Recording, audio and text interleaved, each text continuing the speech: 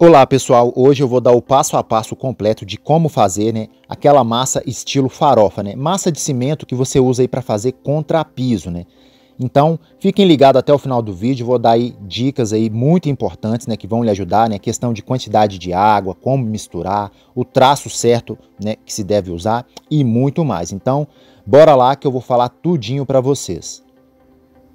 Primeiramente, o traço que a gente utiliza aqui, pessoal, é o seguinte. Para cada um saco de cimento, pessoal, eu uso aí entre 6 e 8 latas de areia lavada grossa, né? A medida em carrinho seria mais ou menos um carrinho e meio a dois carrinhos de areia lavada grossa para um saco de cimento.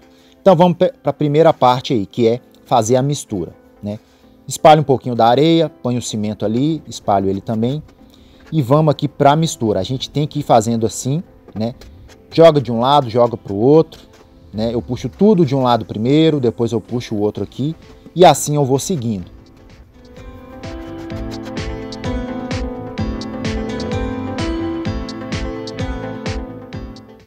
Então, tranquilo aqui, essa parte aqui leva né, cerca de 10 minutos, né, 15 minutos para fazer a mistura. Agora vamos para a parte principal, água, galera. Qual a quantidade? Eu estou aqui com um balde cheio, né? Tá uma quantidade aqui de quase uns 18 litros, eu creio. Então, eu vou jogar aqui boa parte dessa água. Mostrar para vocês aqui que sobrou bem pouquinho de água aqui. Então, para essa maceira aqui, né, eu tô colocando aí quase um balde aí.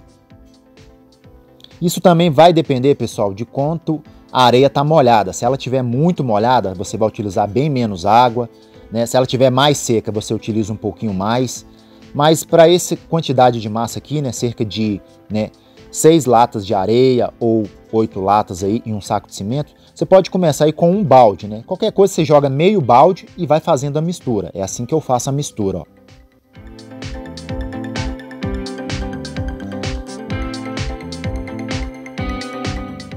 Então depois que eu joguei a água aí, né, junto à massa ali, não deixa a água sair fora, né?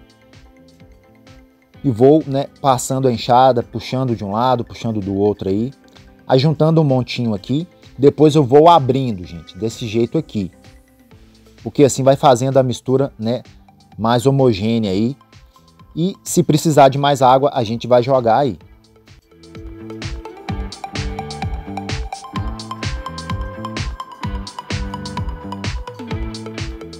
Então, tive que jogar mais água, né? Como vocês estão vendo aí, ó, o restinho de água que sobrou do balde, então bem dizer, um balde de água já foi aí na massa farofa aí. E eu já vou pedindo, galera, deixem aquele like, ajuda demais aqui o canal. Se ainda não é inscrito, se inscrevam e compartilhe o vídeo. Muita gente precisa dessas dicas aí, né? Porque hoje em dia a galera tá economizando aí e tá fazendo aí o próprio serviço. Então, com esse vídeo vai lhe ajudar com certeza. Então, bora fortalecer aí. Então aqui, gente, eu vou continuando virando a massa.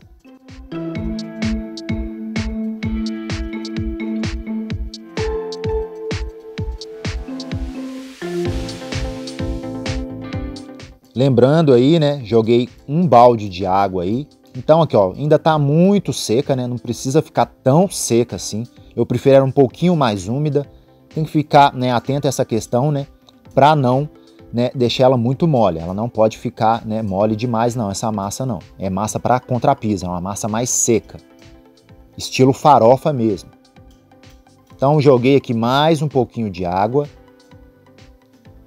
Esse balde ele estava pela metade. Joguei mais um pouquinho aqui.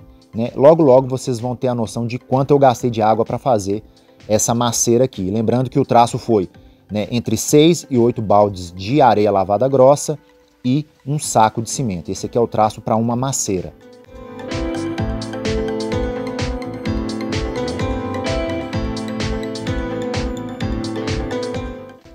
Então, gente, com um pouquinho de água que eu joguei, eu acho que ficou no ponto aí, né? Eu vou fazendo aí, né, mais um pouquinho da mistura. É dessa forma aí que a gente vai fazendo essa mistura.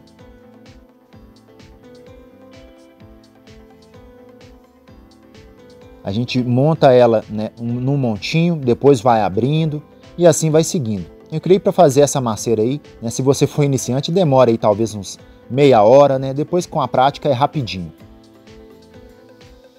E aqui, né, finalmente eu creio que chegou no ponto ideal aqui, ó.